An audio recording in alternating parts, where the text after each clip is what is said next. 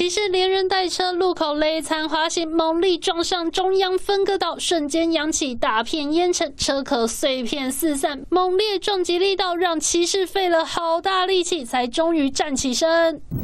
摔车原因竟然是因为地上蛋液流满地，小货车满载鸡蛋，疑似绳索断裂，导致上百颗鸡蛋掉落地面。蛋液流到对象，害得机车骑士滑倒惨摔，手脚多处擦伤。同样惊险车祸也发生在台北市中山区。三角锥出现在路中央，害得骑士闪避不及，瞬间惨摔倒地，镜头九十度翻转，监视器还拍下后方箱型车差点碾过骑士，急忙刹停，超惊险。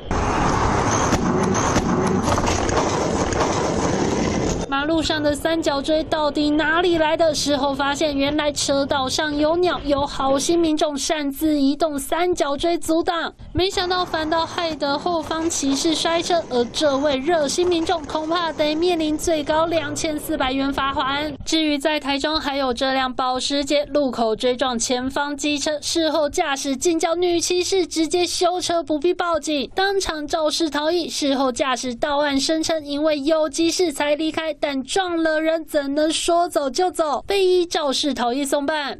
记者连元斌、彭玉飞综合报道。我是哈远怡，我用说故事写自己的人生故事。